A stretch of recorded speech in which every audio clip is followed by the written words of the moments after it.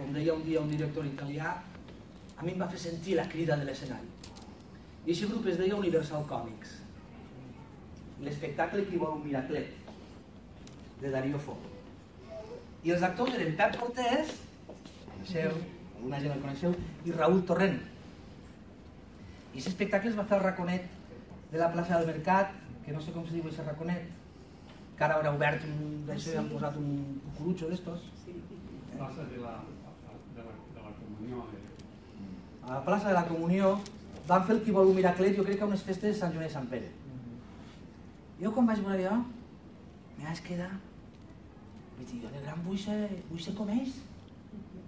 Era un espectacle, no sé si... Bueno, Darío Fo, coneixeu, és un premi, és un eh, premi Nobel de literatura, un gran actor, autor, director italià, i el, i el Mister, el Mister Buffo eh, va de, de la vida de Jesucrist, perquè ve d'uns uns- els miraclets, els miracles eren medievals, ve de la vida de Jesucrist, però Jesucrist no apareix en qualsevol moment, en cap moment.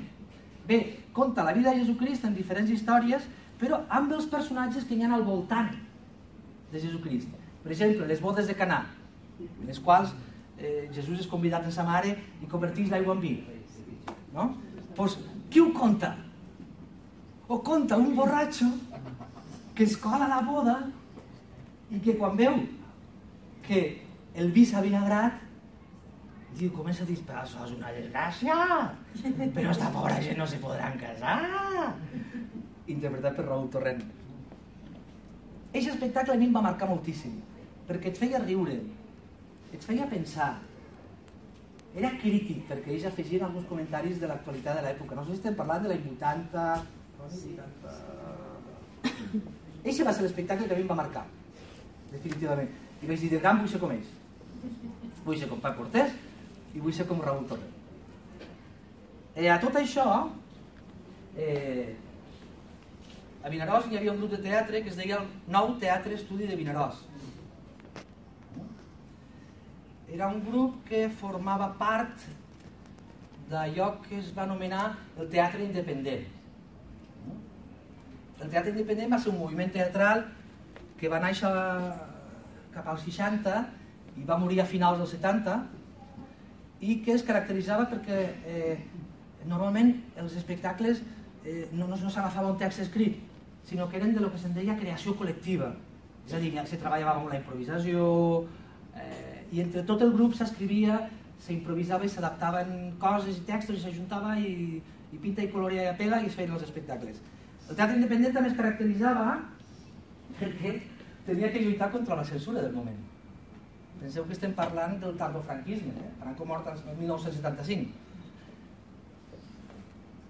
Es caracteritzava per la lluita contra aquesta censura i per veure com la podien torejar i es caracteritzava també perquè eren eh, llocs on la gent també practicava una lluita política contra el franquisme.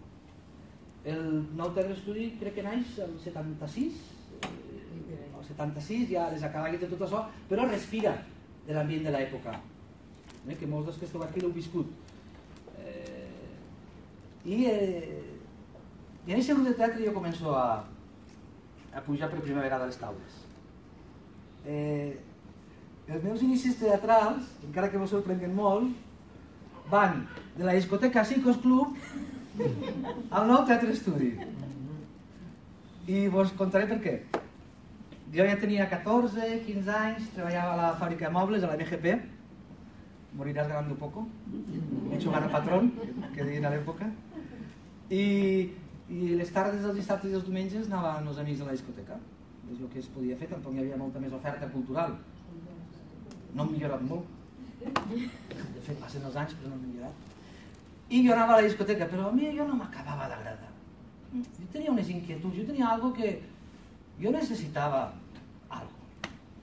I un amic de l'escola, Agustín Serrano, em diu, home, doncs nosaltres, eh, no sé si els dissabtes, els diumenges a la tarda, ahir al Liceo Quijote, a una aula, crec que de, de parvulets, perquè estava al pati gran, al pati, ahir assagem i preparem obres de teatre, estem fent una cosa que diu la telefòbia. Va, vine a veure-ho. Jo com tenia inquietuds i tal, oh, pues... vaig.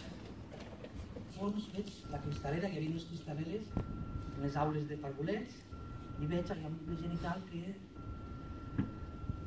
i no em vaig atrevir ni a creuar el pati perquè tianet era molt vergonyós. I ho és encara